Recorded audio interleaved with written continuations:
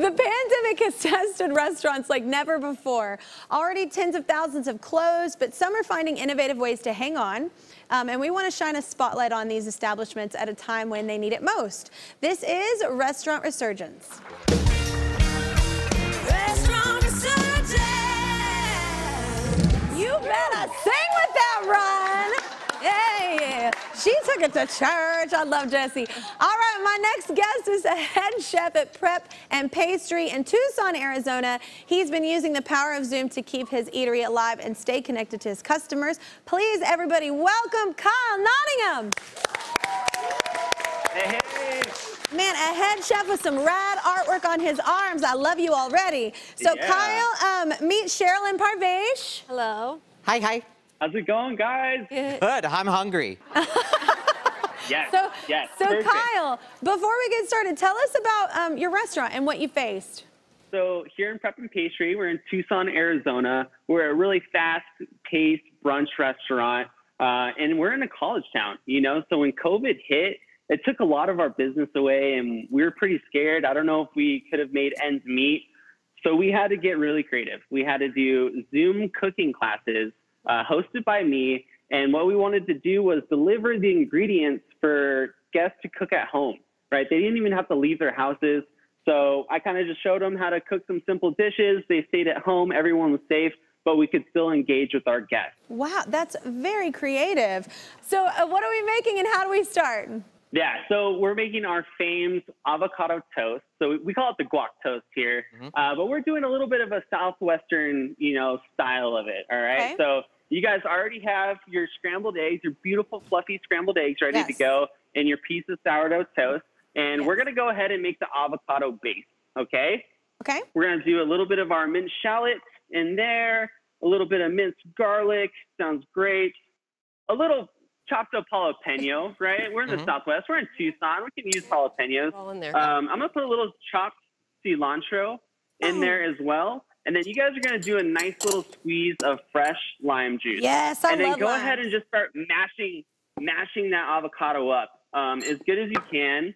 Do you mash it with like a fork? smooth, Is that what you're using? puree. Mash it with a fork. You can use your hands, use your, use your fingers, get dirty, but yeah, just use it with a fork, stir it around. Chef, can is it okay if I So do yeah, use go a ahead lot and of keep on. cilantro? no. Do you not like That's cilantro? totally fine. I think I'm one of those people who like reacts to it very badly. Oh. Oh, I think you should not Not use the cilantro. Just throwing it out there. Okay, so what's next after we do that? After we mash? All right. So after this is nice and mashed, I'm gonna put a little bit of salt in mine. Yes. Um, we're gonna start building, right? So we're gonna put the avocado mash on top of the toast and and be pretty pr- pretty diligent with it. You know, make it make a nice high coating on your sourdough toast. I feel like I'm gonna nail this. I feel like I'm doing spectacular. I think you guys are gonna crush haven't it. I think yet. you guys are crushing it already. Just smashed it. Beautiful. That was great, it's guys. not smashed. It's fine. You like it chunky. Yeah, totally. Um, okay, so after we Take spread it, some. then do we put the egg on? The eggs go right on top of the guacamole. Correct, correct. Okay. So go ahead and get your scrambled egg. Um, kind of, you know, place them from the pan right on top of the avocado there. And again, we're kind of going for a nice height here. We don't want it to look like flat, boring toast. Um, get a little height. Pile them on. Okay, well, mine were kind of pre-cooked in a very beautiful flat way, but yes. Just fluff it up. Just give it some fluff. Stack those things up. Yeah, yeah, yeah. So what do we All right, what do we do with these other ingredients? All right, so this is where the fun part comes in. This is where we get add our style to the dish, right? This is we're gonna garnish now. All right, so we're gonna take a little bit of our cilantro um, chipotle crema on Ooh. top and kind of just like So some more Salt that cilantro over soup the for egg. Parvesh. Just very little. Parvesh loves little, it. Very light. Very light. No, The he's- he's totally okay. Yeah, yeah, yeah. He's good to go on that. Um, and then we're kind of gonna sprinkle that across the top, the rest of the ingredients. So you're gonna get your pickled shallot Okay. and kind of just sprinkle them across the top. There you go. Oh my gosh, I'm so radish excited to take a down bite of this. You over there? Okay, you now can we eat it? Almost time to eat. Let's do a little bit of a fresh, you know, cilantro sprigs. But if you don't want the cilantro on top of that, This looks and then our final step is the queso fresco on top. All right, so right on top. Okay, let's eat it. Okay. Okay, I'm taking a bite. Are I'm going ready? in. Cheers. Oh, Oh. sorry, not not even the nice work.